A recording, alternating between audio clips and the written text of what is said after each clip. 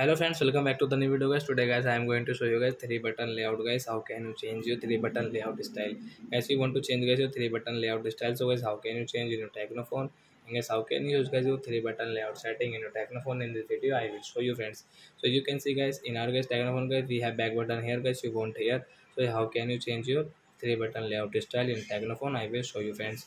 So then first of all, open your phone setting to change your three button layout style. Then guys, scroll it and guess you can see your phone system setting friends tap here and guess you can see your system navigation friends tap here and guess you can see this more setting friends tap here so you can see guys your button layout style so friends you can change from here and we will tap here to change it so as you can see your back your three button layout will change or you can back from this left side guys so like that guys you can use guys your three button layout setting and guys you can change your three button layout style in your phone. so that's it guys thanks for watching the video guys we will meet our next video with new topic before going guys please go and like the video bye bye friends